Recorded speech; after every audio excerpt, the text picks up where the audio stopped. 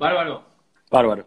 Quería empezar preguntándote acerca de Liliana, la psicopedagoga que, Uh. que tuvo mucha importancia en tu infancia, acerca de, de la importancia para prestar atención en el colegio, que creo que te mandaron por ese, por ese aspecto.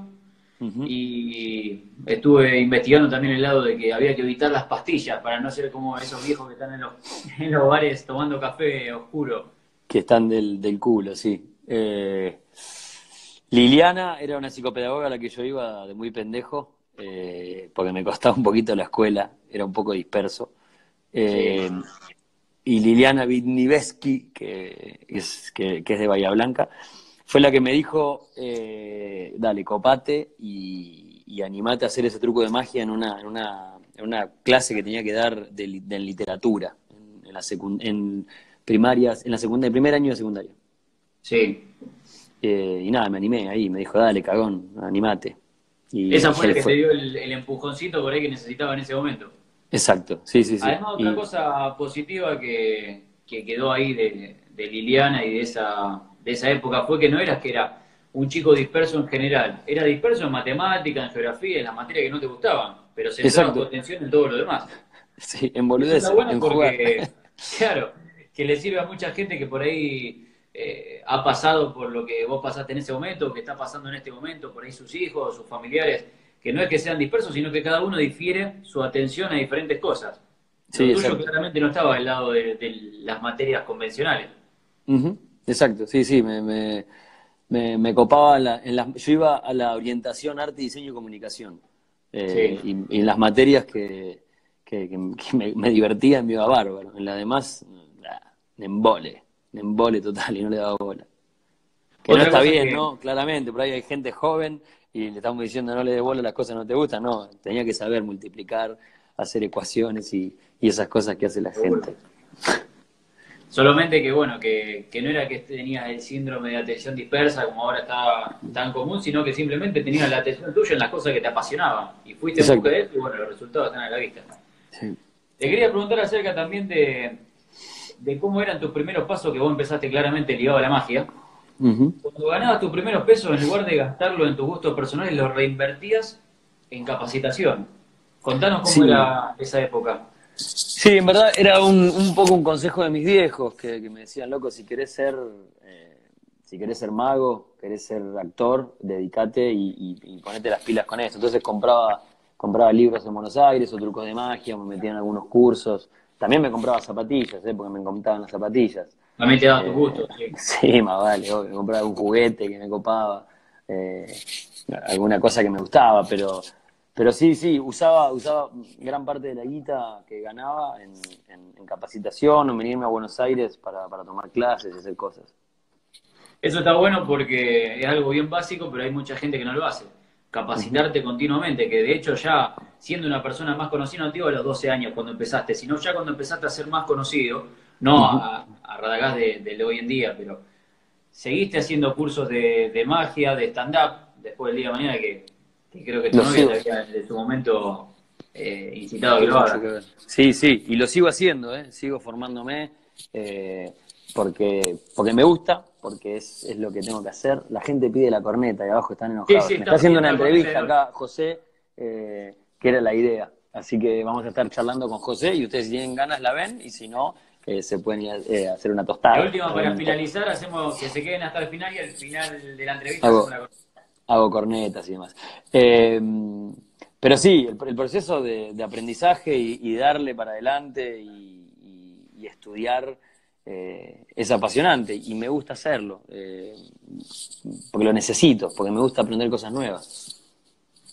Sí, sí, sí, y eso es fundamental. en- Está bueno darle este mensaje a la gente porque en lo que sea que uno quiere lograr es fundamental capacitarse, estudiar, dedicarse a eso y no solamente como. Me gustó una charla que vi tuya en TED que decía que no era pegarla, pegarle al que va al casino y juega una ficha y la pega. En el caso Sí, obvio. es pegarle, es una serie de acontecimientos que, bueno, me gusta asociarlo ahora con lo que vos decís que se llama seren- serendipia, ¿puede ser?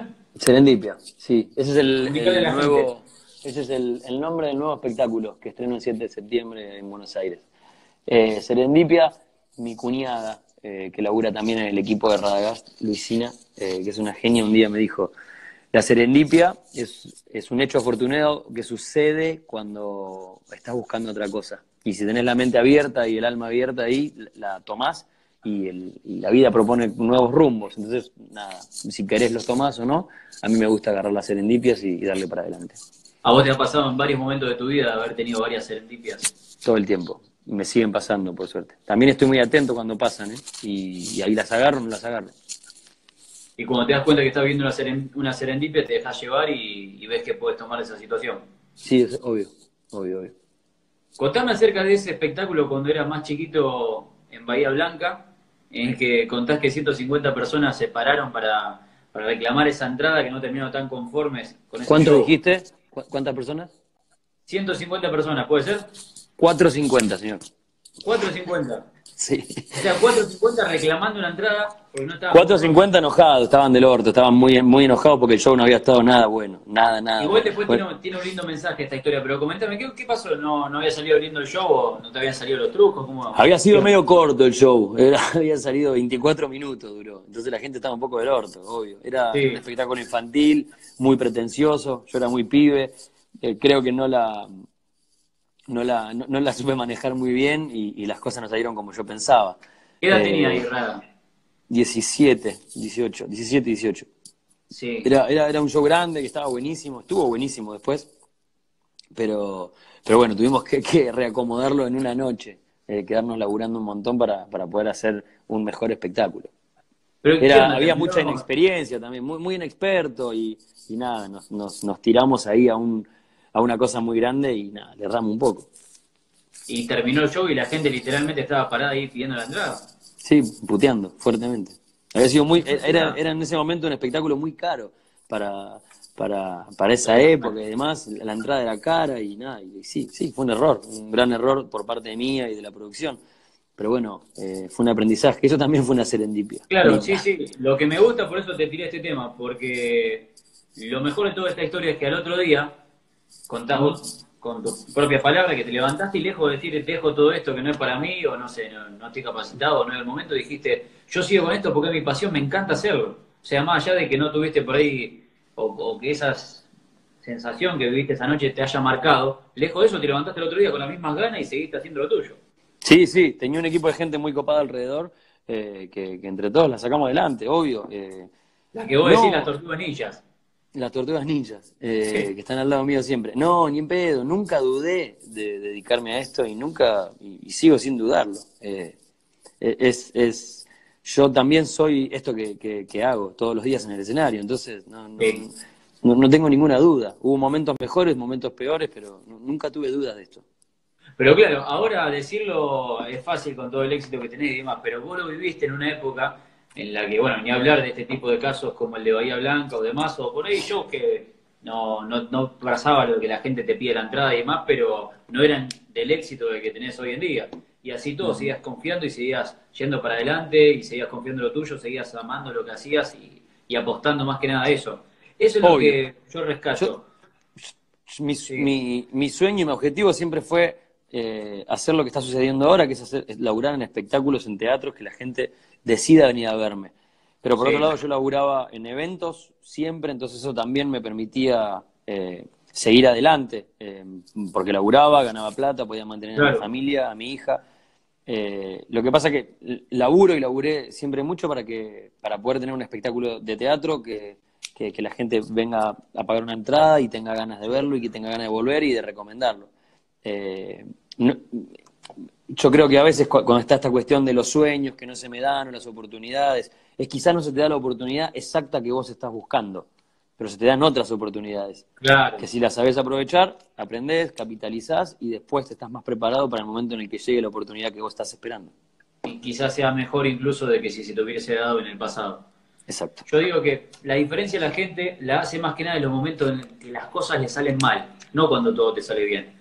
Como por ahí vos en tu momento, al otro día del show de Bahía Blanca, tuviste la decisión de decir, ¿qué hago? ¿Sigo con esto o me lo replanteo aunque sea? Como todo tu equipo con las tortugas ninjas que vos tenías ahí a tu alrededor. Sí, Entonces, sí, te sirvió todo ese equipo para decir, no, seguimos intentando porque es por este lado. O sea, va a haber momentos como este y vendrá lo mejor el día de mañana y así fue. Una serie de serendipias que hace que hoy en día tengamos a Radagás enfrente. Eh, sí, sí, obvio, obvio. Pero te vuelvo a repetir, José, nunca, nunca dudé eh, y, y, no, y sigo sin dudarlo, sigo sintiendo eh, que soy ese mismo pendejo que estaba con los marcianos que le fue mal, eh, que, que sigue buscando y voy a seguir buscando, sigo buscándola. Ese pendejo que juega, juegue, rada, juegue. Sí, exacto, así es. Si tuvieras que decir alguna clave que te haya llevado a ser hoy en día Radagast, ¿cuál me nombrarías? ¿Cuál dirías de todas? Huevo, porque si esto realmente me ayudó. huevo y Apliqué esto corazón. durante mucho tiempo, sí. Huevo y corazón eh, es lo único que, que hay que hacer. Huevo es esfuerzo, laburo, mucho, mucho, mucho, mucho laburo. Y corazón es la pasión que vos le pones a lo que, a lo que haces. Claro. Eh, para mí no hay forma de errarle. El problema es que si yo a los 17 años eh, me ponía como meta a corto plazo hacer un gran Rex, claramente me iba a frustrar. Claramente me iba a frustrar y me, y me iba a pegar la cabeza contra la pared todo el tiempo. Si lo único que yo quería era estar en el Gran, en el gran Rex. Claro. Es un proceso, todo el tiempo es un paso atrás del otro. Eh, O sea, si no- que nada enfocado a paso, metas a corto plazo. Sí, sí, sí. Yo sigo pensando a corto, a corto y mediano plazo. Eh, no sé, si yo hoy me pongo en la cabeza, quiero hacer un River y nada más que quiero hacer un River y sigo pensando y todo hago para hacer un River. Claro. Y me voy a pegar un roscazo contra la pared, es obvio. ¿Cómo Está hago bueno eso que decís porque hay mucha gente que piensa por ahí, yo voy a estar contento, voy a ser feliz cuando logre tal cosa. No pongamos el, el ejemplo de, de- de un show, un espectáculo, porque es el caso tuyo, pero en general, la gente que dice yo voy a ser feliz cuando tenga una pareja, cuando tenga un laburo, cuando cambie el auto, cuando haga un viaje, y está posponiendo su felicidad atrás de algo que, como No. también te he escuchado a vos decir varias veces, el éxito no Para mí, para mí es al revés. Eh, Claro. sos, sos primero feliz y después viene todo lo demás. Claro, como dice la frase, no es ver para creer, sino creer para poder ver el día de mañana, que eso es lo que aplicaste pues. vos. Yo también creo mucho en que la gente está donde está, y esto también te lo he dicho fuera de cámara, que es producto de los hábitos, de las rutinas que tiene, todas las cosas que has hecho vos y la serendipia que han pasado en el medio, como decís, decís eh, te han llevado al lugar en el que estás hoy en día. No es casualidad, nada pasa por casualidad, nada pasa por accidente, no creo en el azar. Y me gusta mucho cuando entrevisto a personas como vos preguntarles qué hábitos o qué rutinas han tenido durante mucho tiempo. No sé, vos decís, mira, me levantaba a la mañana, entregaba currículum, o preguntaba en, en, en- Me gusta quedarme en la cama, así en la camukis, durmiendo. en la Camuquis. En la Eh, camukis, sí. No sé, por ejemplo, entregar 20 mails por día a productoras, en- ofreciendo lo tuyo durante muchos Sí, días. eso lo hizo un montón. otra persona. ¿Qué Soy un gran, que- soy un gran, gran, gran, gran insistidor. Muy, insisto mucho, mucho. Eso es Toco- fundamental. Toco puertas. Eh, una vez un, un- un tipo al que yo eh, quiero mucho, que trabaja en Telefe, es el, el- quien maneja el departamento de casting de Telefe, eh, Damián Canducci, lo quiero mucho y lo admiro mucho, eh, aparte es un gran actor. Maneja Eh, todo lo que es casting en Telefe en general. el departamento de casting, sí. Yo hice hace un tiempo un, un proyecto de Telefe que se llama Cast, que es un, un plan de entrenamiento para nuevos actores o nuevos talentos, como le llaman ellos, eh, Sí. que ellos te forman y después te van, te van este, moviendo dentro de- del canal y sus productos que tienen. Él es, era el director, es el director de, de Cast y de casting de Telefe, y me dijo, eh, admiro porque sos un gran insistidor, sos un insistidor que no molesta. Eh, No- no, no es sos- algo no sos un pesado, sí. Claro. Entonces me, me reconoció ese talento y creo que sí, que esos fueron mis hábitos, es insistir eh, y buscar y laburar mucho. Me reconozco un gran laburador, laburo mucho. Volviendo para atrás, cuando la estabas luchando mucho más que ahora, que también la seguís luchando, pero desde otro punto de vista. ¿Qué hábitos tenías? ¿Mandabas todos los, todos los días un mail a productoras o golpeabas puertas? Eh, Mandaba, mandaba, mandaba muchos mails, sí, muchos mails. eh, me rebotaban casi todos, los mandaba con el nombre de mi representante que no existía, que era yo. Que eras vos. Sí, Richard, mi representante. Eso es Ricardo genial. le ponía ahí abajo. Eh, me parecía ¿Y mucho pasaba? más. ¿Y después cómo te presentabas? Porque claro, llegaba un punto que te decían, bueno, dale, venite. Y era Ricardo. Como decía, Claro. no, va a ir directamente a Agustín. No, no va al artista directamente, arregla todo con él. y ahí, claro, te pasabas tu contacto. Claro. Es buena estrategia esa. Aparte vos decías que tenías más efectividad vendiendo a otra persona que vendiéndote a vos mismo. Y sí, obvio, es, es mucho mejor decir, mirá, este pibe es muy bueno, a decir yo soy muy bueno. Lo voy a tener en cuenta, lo voy a explicar. Ojo, porque si vos, vos sos psicólogo, te van a decir, che, boludo, pero yo hablé con tu secretario. Claro, hay que tener y este es un profesional, claro.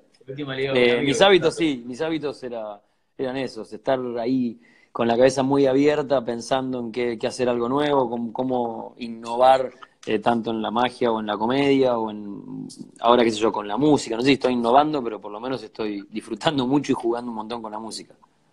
Y desde hace tiempo este estilo de show, que era conjugar un poco de la magia, de la comedia, de, música, ¿fue siempre así o lo fuiste sumando? siempre fue así. Siempre fue así. Siempre me gustaban agregar cosas cuando estaba más metido en el ambiente de la magia, mis colegas me criticaban mucho, que, qué sé yo, que cante una canción, ¿no? Me gustaba cantar, entonces cantaba una canción y me copaba y, o hacía malabares o gritaba mucho, usaba una ropa un poco extravagante. Que eso va de la misma camada, de, te diría, del tipo que toma pastillas y va del café oscuro sentado en el bar. Claro. claro, del que no se diferencia de la media de la gente, sería un mago común y corriente. Justamente lo que te diferencia del resto es la etiqueta de Radagast que vos mismo te pusiste de saber cantar, de, hacer este show humorístico, de, en momentos aparecías con zapatos como de payaso, ese tipo de cosas diferentes que hacías son lo que te marcan tu, propia personalidad. Eh, es, que, es que creo que la, única clave para subirse arriba del escenario es ser uno. Y cuando sos uno, no hay manera que te puedan copiar, porque no hay otro como vos. Claro. Eh, no hay otro José Bonato en la tierra, hay uno solo, sos vos. Si yo me hubiese, me hubiese preocupado por ser eh, como el resto o como mis colegas, la cagaba, porque iba a ser igual que otro tipo. Y encima no iba a ser genuino. Mira, acá están comentando la gente, un día le dijeron que no era mago, que era un payaso, un comediante, pero igual siguió. La vida lo cruzó con un tipo que le dijo que haga su mejor versión de él, Radagast. Y de él mismo, sí. Un, chabón que, que, que, quiero mucho también, un maestro de la vida, Patricio Montesano, me dijo, vos tenés que ser el mejor Radagast que puedas. Y la misma frase me la repitió también Roberto Mancilla, otro, otro mago y artista que, admiro mucho.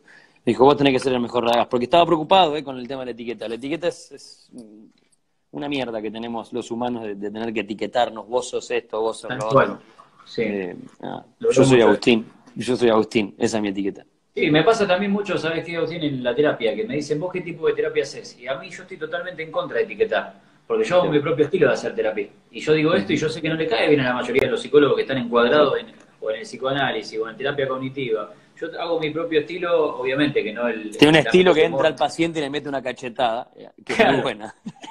Es muy buena.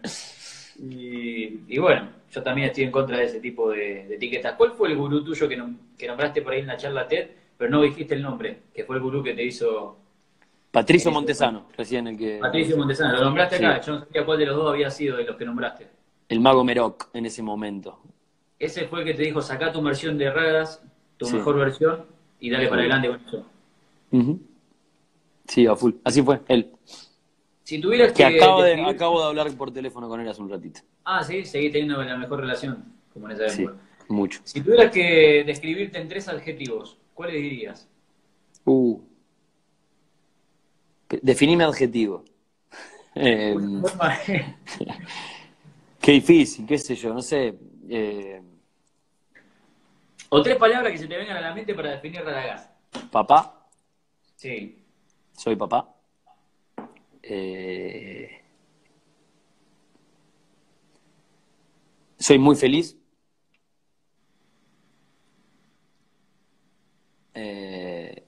y me considero bueno. Bien. Papá feliz bueno. Sí, después si querés hablamos de los defectos, pero eh, papá feliz bueno, sí. No bueno, buen papá feliz, no, eh, es papá, vos me pediste tres palabras, así, hacé tu libre asociación y no me analices, no me rompa la bola, José, no me pongas a analizar ahora. Son las once y media de la noche. Por favor, te eh, pido.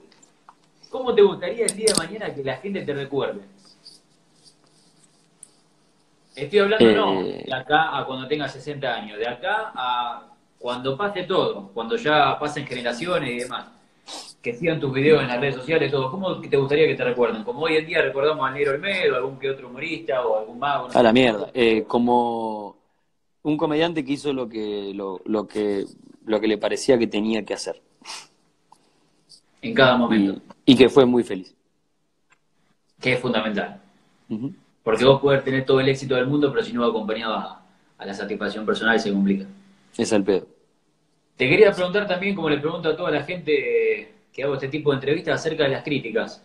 Porque Sí. me imagino, hoy en día debes tener, por ser una persona pública, en su momento también, al no, no estar tan expuesto a los medios, también deberías tener. ¿Cómo manejaste, cómo fuiste manejando todo el tipo de críticas que ibas recibiendo? A nadie le gusta que lo critiquen, eso está claro, ¿no? Sí. Me parece. Eh, pero aprendí a que me copen las críticas reales. A ver cómo es eso, me gusta. Contame más de Eh, eso. eh, me gusta la crítica. Tengo la suerte de que mucha gente le gusta lo que hago. Soy, Sí, es soy muy afortunado. De verdad, muy afortunado, poco- ¿eh? Poca gente La gran mayoría, la gran mayoría de la gente que, que consume lo que yo hago le gusta. Sí. Eh, eh, y, ah, y, eh, ¿Por qué digo esto? Porque en las redes sociales también existen los haters que consumen Sí. cosas que no le gustan y lo putean y lo bardean. Que yo no entiendo qué hacen ahí en esa cuenta, si, no, si van a criticar, pero bueno. Eh, eh, sí, sí, sí lo sabes. Sí lo sabes. Como psicólogo lo sabes. Sí, sí, sí, bueno. Eh, Me pero que lo voy haciendo, sí. pero eh, cuando aparece un hater que, que- que me, que me putea directamente, como, ah, lo que estás haciendo es una porquería, qué sé yo, pienso en él y digo, bueno, pobre loco, y, y- y también cuando, eso es el hater, pero en, en la crítica, en la crítica también siempre hay, hay una visión de una persona que está viendo otra cosa, por ahí que la gran mayoría, o que yo no vi. Entonces la crítica yo la escucho siempre. Eh, cuando yo pido una crítica, cu- cuando digo, che, loco, bueno, ¿qué viste? Siempre recalco Claro. pero con, con crudeza, decime qué, qué es lo que, qué, qué pasa, qué viste ahí que no te gustó. Contame qué es lo que no te gustó porque, porque me gusta escucharlo, me, me gusta saber qué es lo que no gusta también. O sea, una cosa es la crítica destructiva, que es la que los haters... Nah, a veces me da- me da y risa, la crítica real, ¿eh? constructiva es la que hay que darle bola. Me divierte eh, y, ¿Sos y- de y- bloquear a los haters o lo dejás no? No, yo no bloqueo a los haters, bloqueo eh, a la gente que, que se desubica con, con cosas que, que no... De familia, que cosas así que nada que ver. Con mi Claro. hija, por ejemplo, que me aparece muchos eh, que, Sí. que se desubican. Mi hija es una nena, tiene 12 años. Eh, entonces cuando... cuando- hacer los videos, aparece cada dos por tres, sí. Sí, no me ayuda, jugamos. Eh, no es que, que- es, que es una ayuda a la cuenta. Jugamos y Ah. algunos los mostramos, nada más. Eh, y y cu- cuando hay una desubicación por parte de eso, o, o bardean Claro. a alguien de mi círculo íntimo eh, de manera muy despectiva, eso sí lo hago. Lo bloqueo. Pero tengo muy poca gente bloqueada, muy, muy poca. Por suerte. Solo, sí, solo los que se lo ganaron por, por Sí. haber lastimado. Eh, te quería preguntar acerca también de algún error que hayas cometido en tu vida, que vos decís, mira, todo el tiempo, todo el tiempo nos estamos equivocando todas las personas del mundo, pero vos decís, este error realmente me sirvió y estoy agradecido de haberme equivocado porque me dio este aprendizaje, esta lección, y la verdad que hoy en día a nadie le gusta equivocarse, pero la verdad que volvería a equivocarme en ese error porque me dio este aprendizaje que hoy en día estoy agradecido.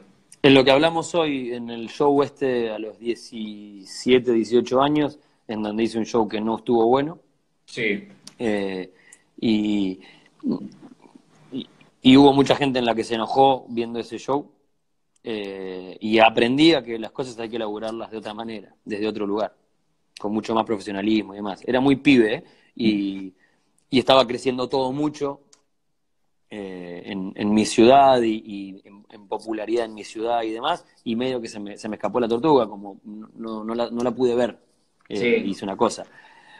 Hoy miro para atrás, perdono a ese Agustín que tenía 18 años, en un momento me enojé mucho con ese Agustín también, que lo Sí. boludo, no lo viste, y sí, pero lo digo yo que yo tengo 34. con el diario del lunes, claro. Claro, pero eh, pero me copa eso, espera, ¿qué dice acá este? Que hay alguien, espera. Sí. No, no sé, no, no- no lo alcanzo a leer, se, se fue. Eh, entonces, ese error lo agradezco mucho y si me tengo que volver a equivocar, mm, eh, elegiría ese error. Aprendí, en, es- en esos errores aprendí un montonazo, un montonazo. Brillante eso que decís porque hay mucha gente que, bueno, nadie se quiere equivocar. Por eso hay mucha gente que no se arriesga. Me equivoco no todos los días igual, ¿eh? no es que fue el único error de mi vida. Todos No, no, ni hablar, me sí. Me, me necesité elegir uno y, y ahí, ahí lo elijo. Está Es- bueno que lo digas porque la gente también, hay mu- vos tenés muchísimos seguidores que te bancan a morir y se dan cuenta que vos también te has equivocado y que has aprendido de eso. Ese es el mensaje que yo quiero transmitir más allá de todo esto, que, que la gente se motive a equivocarse. Después del error viene el aprendizaje siempre.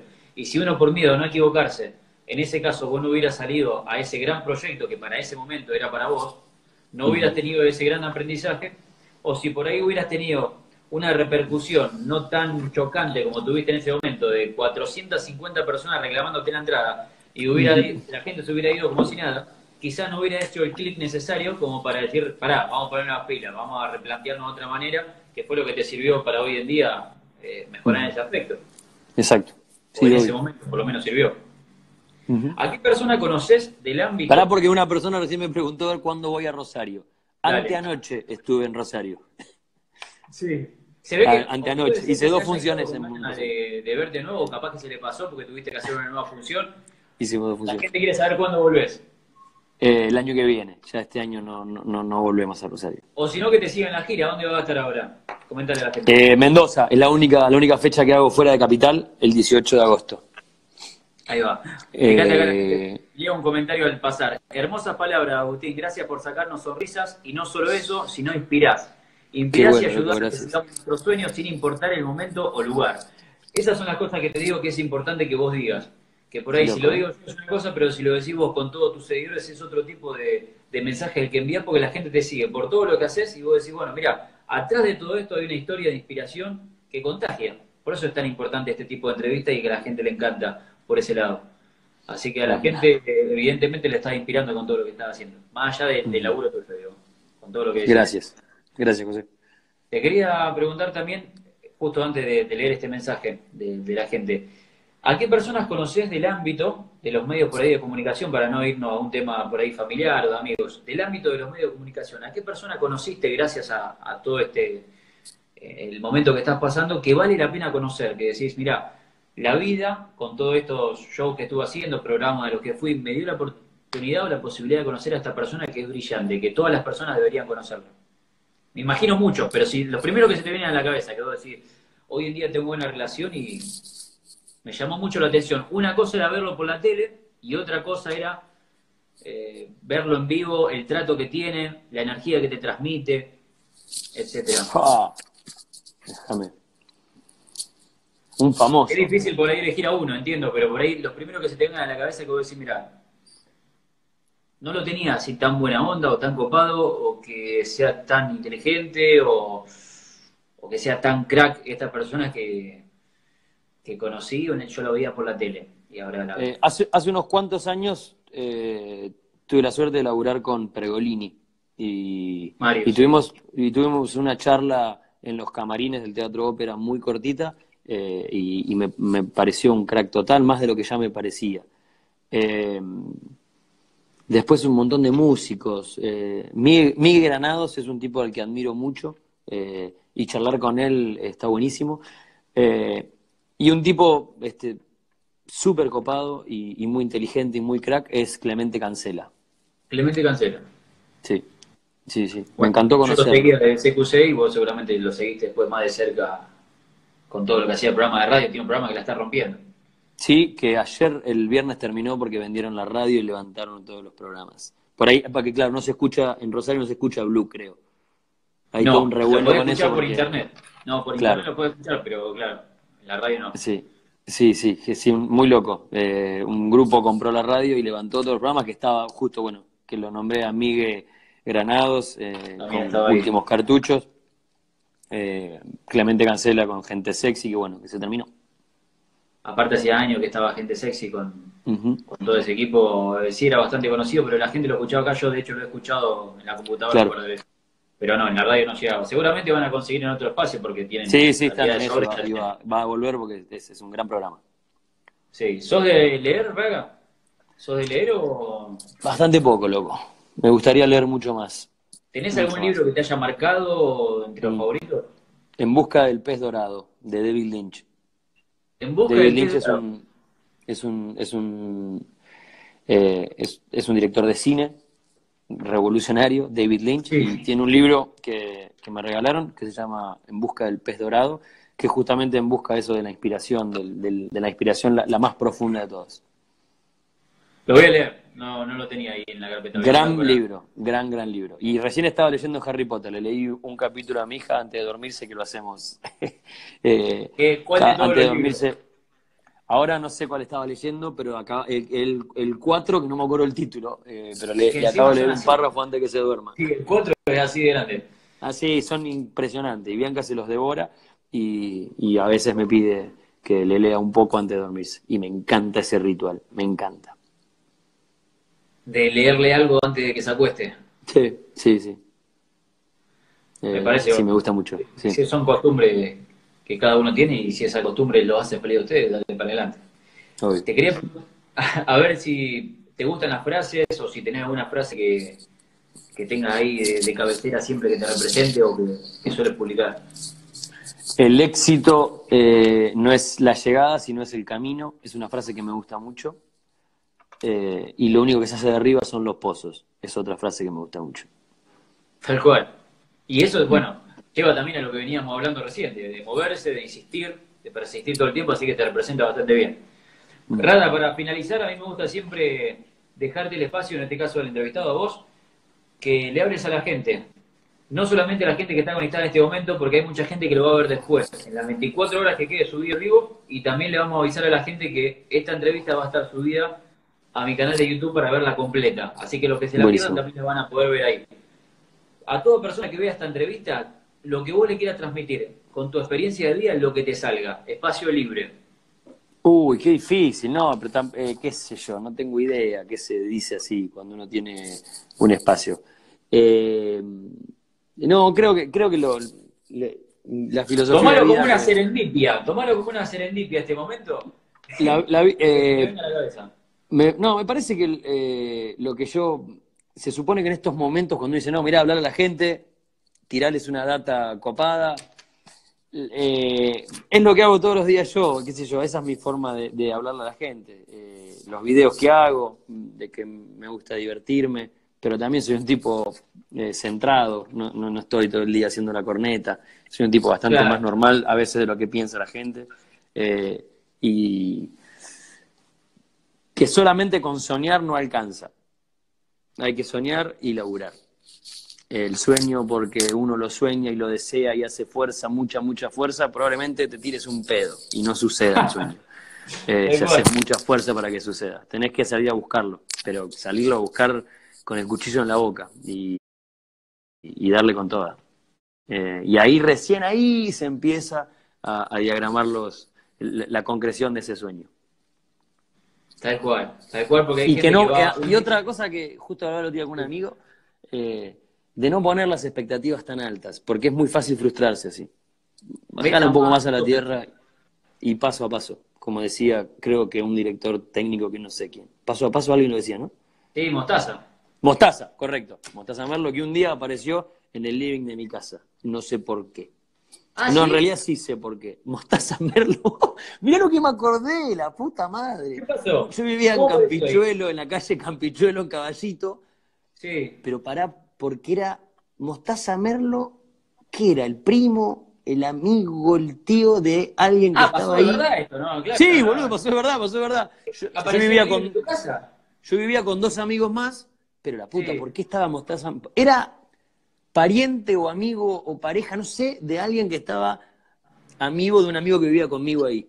Y yo, y de golpe Yo este chabón lo conozco de algún lado, claro. Y era, eh, era era Mostaza Merlo, mirá vos. Era Mostaza Merlo, real. Eh, yo ni sabía, o sea, sabía que era alguien del fútbol. Cuando yo no conozco a alguien y todo el mundo lo conoce, probablemente porque sea del fútbol. Eh, y bueno, yo vivía ahí en Campichuelo, fui muy feliz en esa casa. Eh, vivía con mi hermano y con un amigo.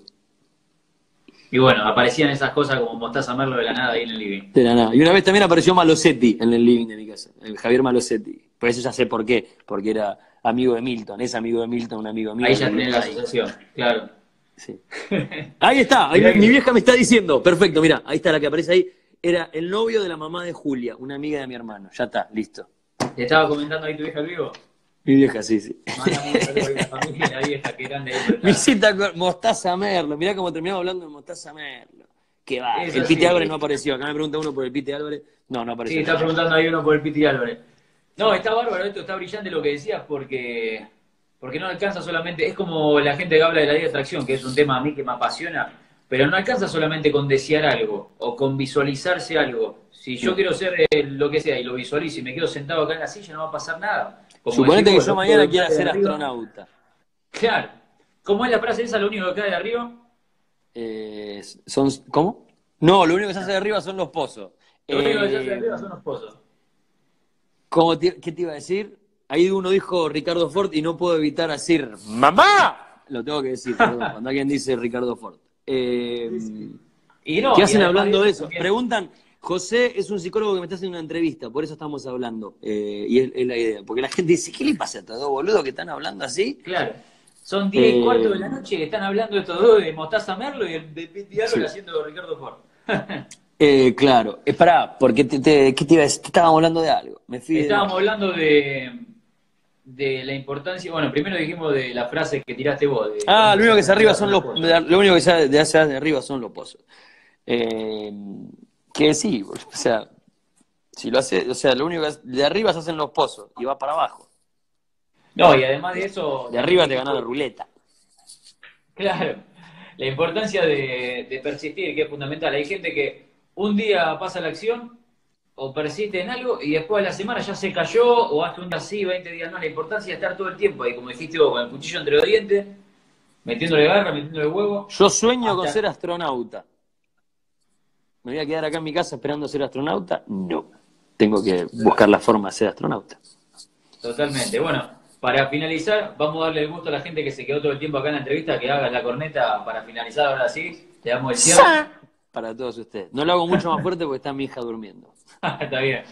Así que bueno, agradecerte, Rada, por la buena onda, por, por todo lo que dijiste, todas las palabras. Como te digo, sirve muchísimo porque a veces, y te debe pasar a vos, a mí me pasa del lado de, la profesión como psicólogo, que a veces uno, o con una frase, como las cosas que comparto, no hace falta en la terapia, te digo, uno dice una palabra, dice una frase o sube algo y no tiene la importancia o, la repercusión que puede llegar a generar, no tiene la magnitud en la cabeza de lo que eso puede llegar a generar, que en tu caso multiplicado por 100, por todos los seguidores que tenés y la gente que te va a ver y todo. Pero por ahí, eso que vos dijiste esta noche, de todo lo que dijiste, le va a quedar sonando a alguien, así le queda a una persona, sirve. No hace falta que sea algo multitudinario. Por ahí hay gente que se va a quedar pensando en las cosas que vos dijiste sin ser tampoco ninguna ciencia, no es que dijimos ni descubrimos nada nuevo nosotros de acá, pero la cosa que dijimos, hay gente que por ahí ya lo sabe y lo recuerda, o cosas nuevas que se lleva, dicho de otra manera, en este caso dicho por vos, que les pueden servir para inspirar, como dijo mucha gente, inspirás, más allá del talento que vos tenés, inspirás y eso no lo hace cualquiera. Así que bueno, te quería compartir eh, este momento, eh, agradecerte más que nada por, por la buena onda y la buena predisposición que tuviste siempre. No, papá, gracias. Gracias a vos por el espacio y por esta charla que estuvo buenísima. Muchas gracias. Así que bueno, le decimos a toda la gente que eh, que no la pudo ver, después la vamos a subir a las redes sociales. La entrevista completa, los que entraron por ahí tarde, después la pueden ver completa también ahí, la voy a subir a mi canal de YouTube que se llama José Bonato. Así que bueno. Arroba José Bonato. Y acá en Rosario te esperamos el año que viene, rompiéndola. Como ahí voy a estar, de vuelta, porque ir a Rosario es una fiesta zarpada siempre. Gracias. Como siempre. Así que no te digo que sigan los éxitos por todo esto que estuvimos hablando, te digo que sigan la insistencia, la perseverancia y todas esas cosas que tenés, que lo otro viene solo. es una consecuencia, no es pegarla. Vos ya, ah, con oh. todo lo que hacés, lo demás viene solo por añadidura, como, como dijimos recién. Mm, aguante, loco. Gracias. Así que bueno, abrazo grande, gracias a vos. Abrazo para todos. Chao, chao. Saludos a toda la gente que estuvo haciendo el aguante ahí. Muchas gracias. Gracias.